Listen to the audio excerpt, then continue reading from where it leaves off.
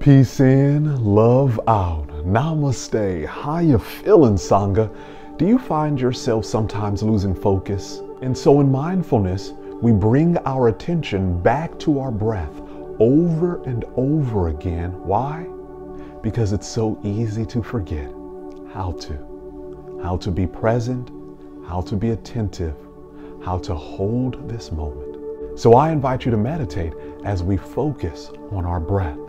Coming into an upright and comfortable seated position, closing your eyes if it's safe and comfortable to do so, taking a deep breath in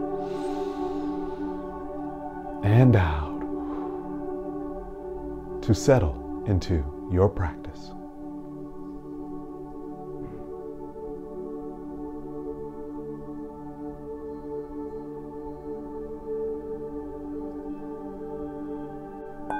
Well practiced, friends. Namaste.